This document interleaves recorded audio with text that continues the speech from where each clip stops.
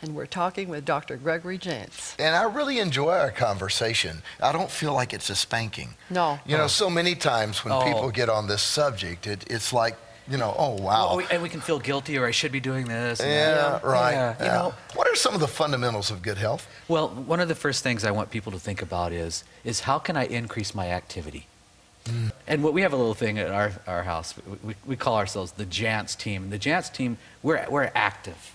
We're an active team. And um, I'm, I'm just seeing the difference, um, and just some basic fundamentals when my boys see what I'm doing and how they want to participate in it as well. Because we can make this fun. We can Yeah, make exercise fun. absolutely. And so we need to do that. That's one of the first And, things. and of course, conversely, if you never see your parents, Yes. your primary source, doing anything that's exercise, activity, Activity. Yeah, yeah. then you imprint on that. Yeah. You know, and so, yeah, okay. Yeah, yeah. Um, I think too we need to see ourselves and begin to ask God to help us. Say, Lord, I want to be healthy. I want to know. I want to take care of my temple, and I, I do, and I and I, I want to be here to fulfill the purposes that you have for me. So I know I need to be healthy to do that. I want to be a good example uh, with my health, and just you know, I would pray and just listen to the Lord about what are the things I need to change. Um, you know that we talked about uh, the fundamentals. Well, I've got to get emotionally healthy. Um, I mean, that's a big one. Um, am I eating out of resentments, for example? Yeah. Am I eating my resentments? Yeah. So those kinds of things. The next fundamental is, is drinking water. You know, people are just, as an observation, don't drink enough clean water. They drink too many sodas and cokes, and that's not good. You know, um, water makes a huge difference. Yeah. Yeah. um, when people come to us, uh, they get a water bottle. And on the water bottle, it lists all the benefits of water.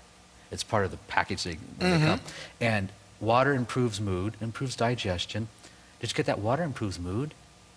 Water can uh, help you with your IQ, your irritability quotient. Is that so we have a little joke around our office. You know, somebody's a little Yeah. cranky. Yeah, you Been should- drinking your water? Yeah. sort of a replay on that. You need a drink. so exactly. Okay, So have a drink of water. Mm, I think I will. Well, you, you also mentioned in your book that we should encourage people to keep track of their eating habits. Okay. What do they eat? Here- Here's a great experiment. We talked about making changes over the next 30 days. Do this. Write down everything that goes in your mouth. You can do it for a week. Just keep a little journal. All beverages, everything, all pills, whatever, everything, Yeah. anything goes in, just log that. Um, and be honest with it. Because um, a lot of times we go, whoa, if I keep eating, at the end of the week, if I keep eating this way, what am I going to look like in next year? What, what am I going to look like in the next five years? Um, so by by writing it down, it really does add some accountability. And the same thing with exercise, keeping track I, of that. I do. yeah. I have a little chart that helps me, um, and I, I work with balance. I'm working at averages. Um, if something occurs one day, and, and you know, I'm not going to be all wound up if I didn't get to do my exercise. Right. No, I, I'm just going to keep going. I'm, I'm going to be uh, get it in the next time because this is life. Yes, it is. Stuff does happen. I, I think, I think we've done that too, you know, and, and we try to eat well, but you know, if there's a birthday party, I'm gonna have a piece of birthday cake. Oh yeah. So can you see? We, I'm not talking to people or talking people into trying to be obsessed with this. Mm -hmm. And you know what? If we're renewing our mind, asking Lord, show me, and I think there really is is important to, to bless our food and Yeah. sanctify it to our bodies. You know, good grief. Sometimes if you know something is before you and it's not that healthy, I'm, I'm going to pray about it. And I'm going to ask the Lord, bless this. Yeah. Yeah. But if I have a habitual pattern of, of, of not making good choices, you know, and I, then I'm expecting God, you know, to, hmm. To do it all. to do it all. Yeah. Yeah. Yeah, that's Some right. people have mistaken ideas about dieting. I, I don't believe in the word dieting. I think it should be stricken from the vocabulary. it's got to be a way of life, isn't it? It is. Yeah. Just see, I'm a, I'm a healthy person. And- and- What's an example of comfort eating? Oh, oh, comfort eating. Well, there could be some folks right now doing comfort eating as they're Watching watching, us. okay. Are you? Okay.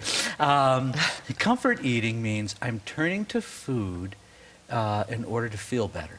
Okay. Okay. And some folks, uh, instead of working out whatever's upsetting to them or, or appropriately dealing with with their emotions, they turn to food. As I said earlier, food is the drug of choice. Food provides me comfort. And you think about food was as a, as a baby, that's your first source of comfort. And so now as an adult, you're turning to food really um, to comfort you emotionally. Hmm. That's why I said that this is an inside job. Food can't comfort, comfort you emotionally. It can numb you short term, mm-hmm. numb, numb, numb you out. Mm-hmm. Right. But the next step is regret. I will always regret comfort eating. Now, here's the thing a lot of people do this blindly, they don't even realize they're doing it. They're the grazers. They're grazing, through- Grazers. they're grazing throughout the day eating. It's just comfort eating all day long. Mm-hmm. Now, there is another person that I would describe as a food addict. They're the person that's hiding food and, like an alcoholic might hide alcohol, Mm-hmm. um, they're, and food and the chocolate and they, you know they're the food addict, and it, it, it's gone even to another. So there's comfort eating, grazing, and then probably more of a true food addict. Now, when I was growing up, people always talked about you need three square meals. Oh yeah, a those square meals. I think we need to do common sense and also listening to your body. You know, it is true. We've heard it said bef- many times, but breakfast is one of the most important meals to fuel the body f- for the day, get the blood sugar uh, back up. What and- would you eat for breakfast? Well, I'm, I'm big on protein.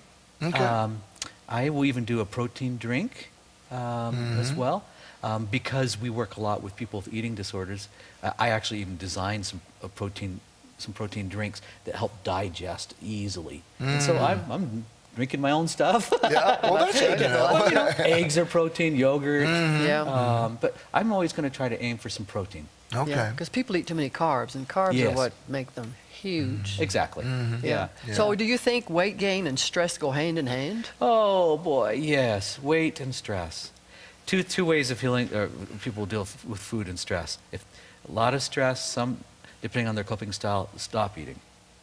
You know, they just they're they're moving away from food. They're so Yeah. stressed out, they don't have an appetite. The other person is living a lifestyle of stress, and they're the ones that are using food as a source of comfort, uh, to to, to lower stress.